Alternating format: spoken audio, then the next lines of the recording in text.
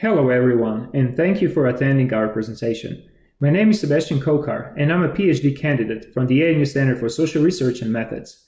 Together with Paul Lavrakas, who is Senior Methodological Advisor to the Social Research Center, we will present our paper titled Why Do People Participate in Probability-Based Online Panel Surveys? This was a joint project between the ANU Center for Social Research and Methods and the Social Research Center from Melbourne, Australia. I would like to use this opportunity to thank all ANU and SRC researchers and qualitative interviewers who contributed to this project, as well as Life in Australia research participants. In this presentation, I will first outline the study and its objectives. Then Paul will present methods, the results based on quantitative data, and the results of our content analysis of panel recruitment communications. I will then present the results of in-depth qualitative interviewing and personality assessment, and finish this presentation by summarizing key findings and practical implications of this research. This was a mixed method study on participation in online panels, which means that we used a slightly less traditional methodological approach. The main aim of this project was to understand why people join a probability-based online panel, why they participate in month-to-month surveys, and why they opt out. Most similar research in this space has been on response and non-response in cross-sectional surveys, including web surveys, but not in panel surveys. Since it is important to go deeper into respondents' motivations, barriers, and find practical panel recruitment and maintenance solutions, we found it useful to associate the responses with the existing social psychological theories on survey participation, especially in a panel or longitudinal setting, including probability based online panel research. Last, we've done some preliminary investigation into the association between personalities and survey completion patterns. To study online panel participation, we use data and documentation from the only probability based online panel in Australia, known as Life in Australia, there are four main components of this study, which Paul will now present.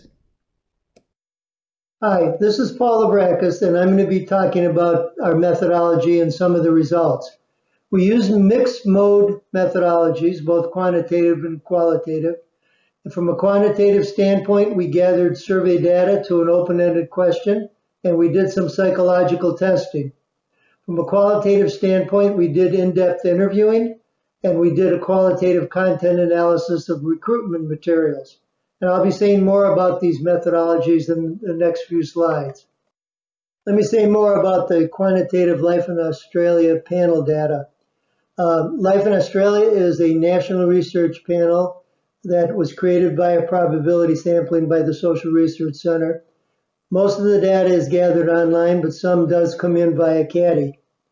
The one open-ended question we asked uh, in June of 2019 went, we would like to understand why you chose to be part of life in Australia and what, if anything, you value about being part of it. There were 2,000 panelists who completed this questionnaire, but little less than 1,600 gave permission for us to use their data for research purposes.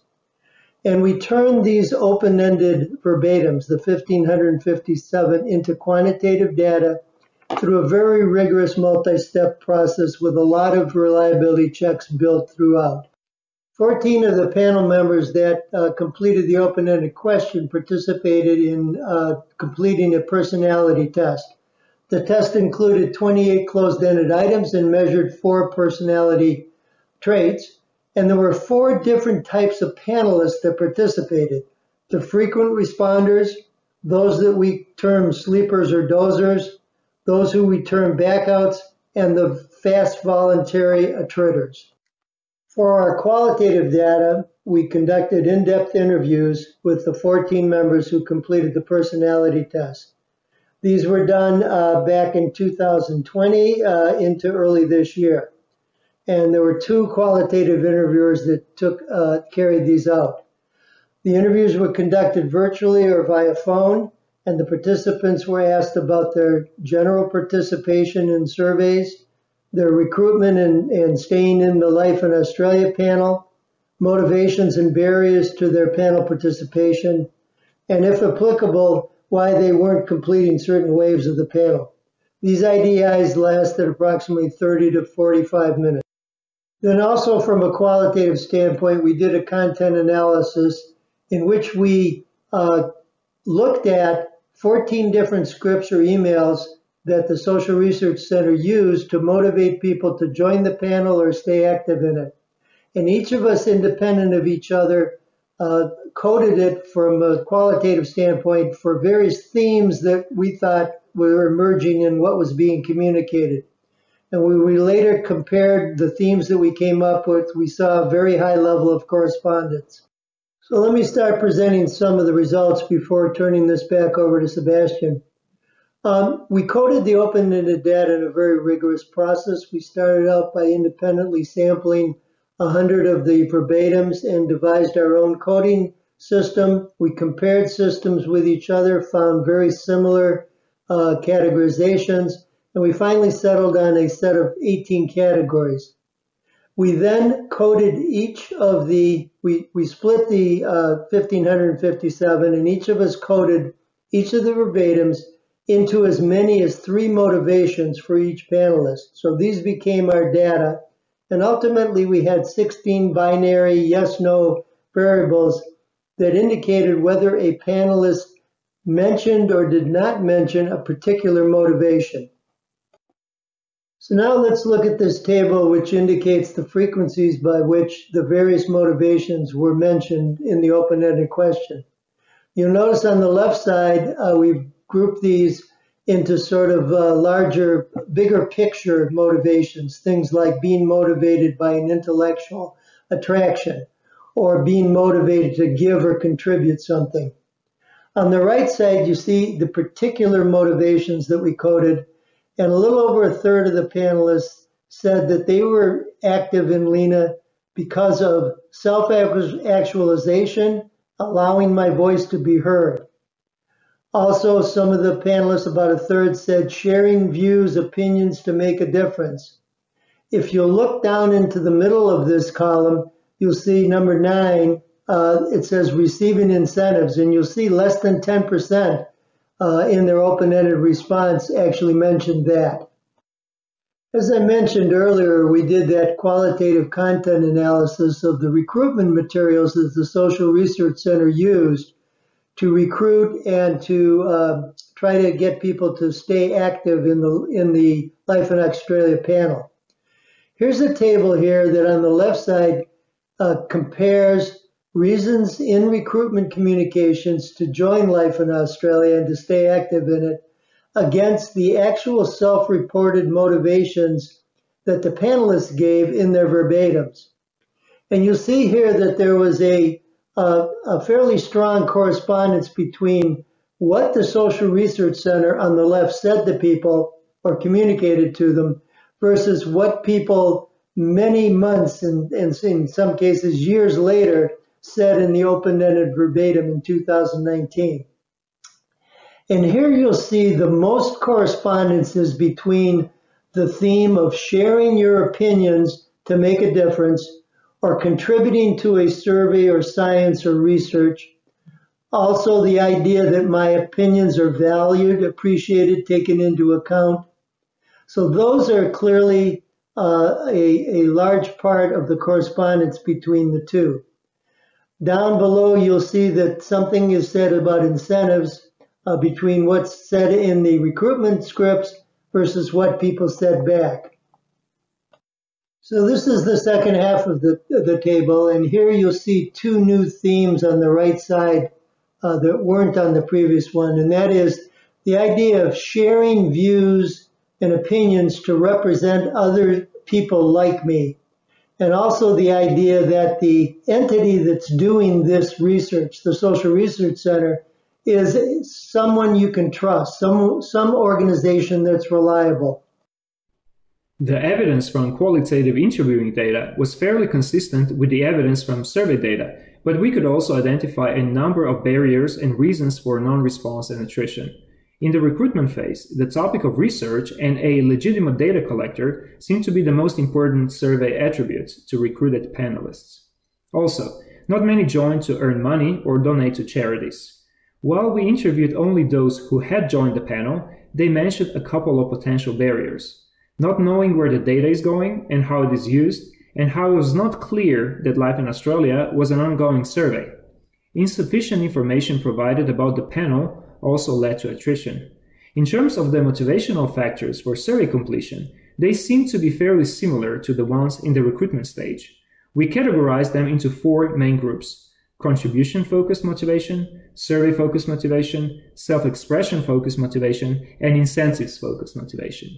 We notice something that probably couldn't be observed in a quantitative study. While all stopped responding panelists and most backouts mentioned various reasons why they stopped participating or opted out, such as being busy, issues with questions, and not appealing questionnaire topics, they had something in common a major life change, such as having children, going through a divorce, or moving house. In terms of monetary rewards, not many mentioned incentives as a motivational factor themselves and would be happy to participate without receiving them, especially the frequent respondents group.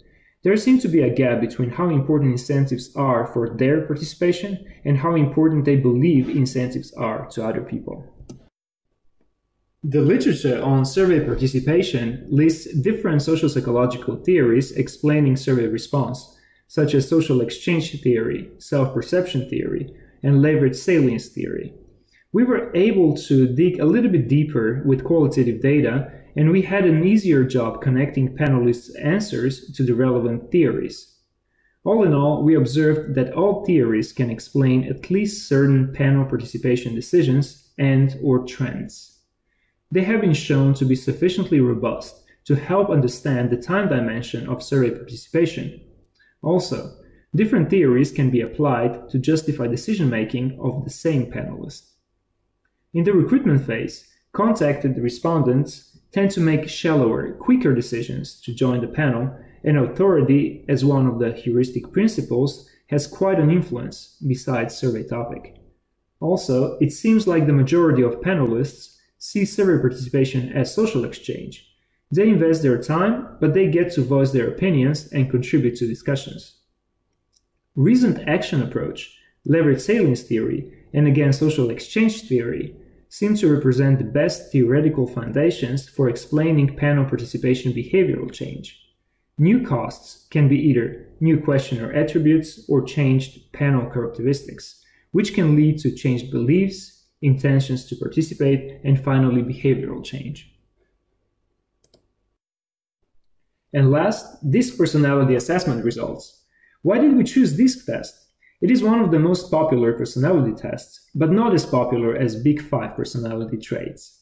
On the other hand, DISC is often used in business organizations and is said to predict behavior better than most other personality tests. We used this opportunity to investigate the usability of this test on a smaller sample first.